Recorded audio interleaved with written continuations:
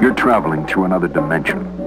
A dimension not only of sight and sound, but of mind. A journey into a wondrous land whose boundaries are that of imagination. Your next stop, the Twilight Zone.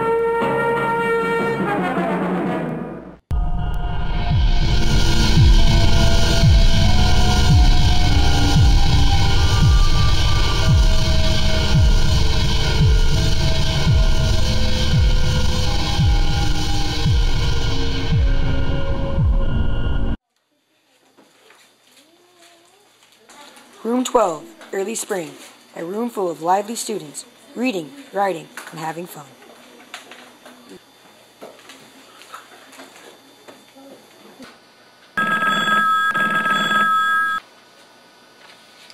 Hello?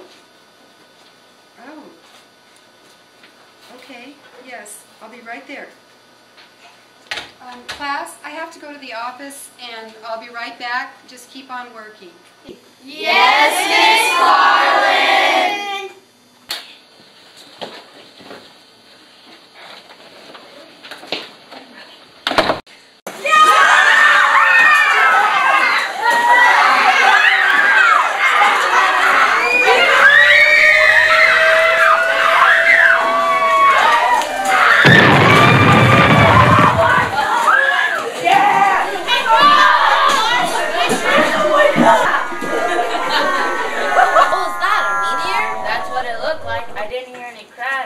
though, did you?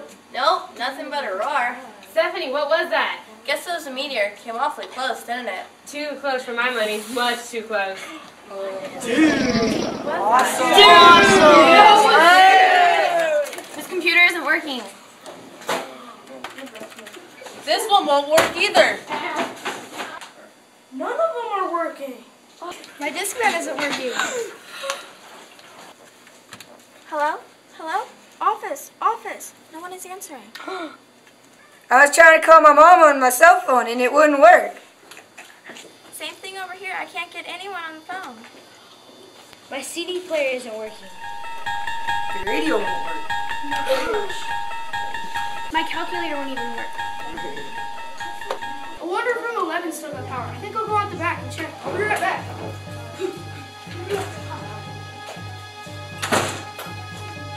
Doesn't make sense. Why should the power go up all of a sudden in the phone line? Maybe it was some sort of electrical storm or something. That don't seem likely. Sky's just as blue as any. No thunder, no lightning, no cloud, no nothing. How can it be a storm? I can't get a thing on the portable. Oh my gosh, it's not working? Well, why don't you go down to the office and check with the secretary? Though she'll probably think we're crazy.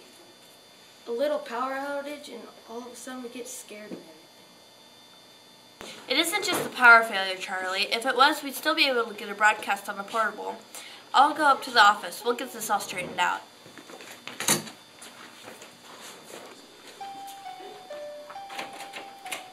I don't understand it. It wasn't locked before. Why can't you open it?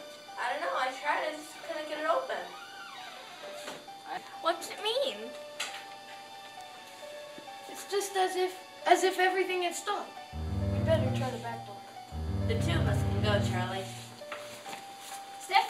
Better not. Why not? They don't want you to. Who doesn't want us to? Them. Them? Who are them? Whoever's in that thing that came by overhead. What? Whoever's in that thing that came over. I don't think they want us to leave here. What do you mean? What are you talking about? They don't want us to leave here. That's why they shut everything off. What makes you say that? Whatever gave you that idea? Now, isn't that the craziest thing you've ever heard? It's always that way. In every story I've ever read about a ship landing from outer space. From outer space yet? You better get yourself up to the counselor. You've been reading too many comic books or seeing too many movies or something. Tommy, stop that kind of talk. Go ahead, Tommy. We'll be right back. And you'll see that wasn't any ship or anything like that. It was just a, a meteor or something. Likely it's not. No doubt it did have something to do with all this power failure and the rest of it. Meteors can do some crazy things, like sunspots. Sure, that's the kind of thing, like sunspots. There is Cain with radio reception all over the world, and this being thing being so close, why there's no telling what sort of stuff it could do. Go ahead, Charlie. You and Stephanie go up to the office and see if that's not what causing all the trouble. Stephanie! Stephanie, please don't go. You might not even be able to make it to the office. That was the way it was in the story. Nobody could leave. Nobody except Except who? except the people they sent down ahead of them. A mother, a father, and two kids that looked exactly like humans, but they weren't. Tommy, please don't talk that way.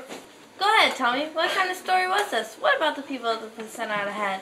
That was the way they prepared things for the landing. They sent four people, a mother, a father, and two kids that looked just like humans, but they weren't. Well, I guess what we better do is run a check on the classroom and see which ones of us are really human.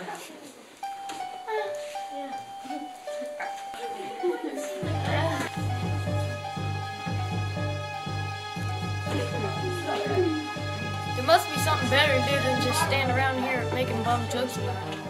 I wonder if Room 11's got the same deal we got. Where's Pete Van Horn anyways? Didn't he get back yet?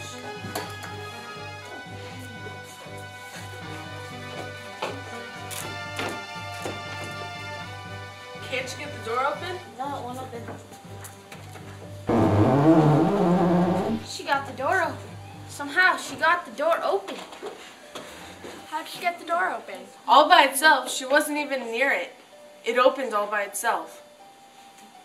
And she never did come out to look at the thing that flew overhead. She wasn't even interested. Why? Why didn't she come out with the rest of us to look? She always was a weirdo. Her and the whole family, real weirdos. What do you say we ask her? Yeah!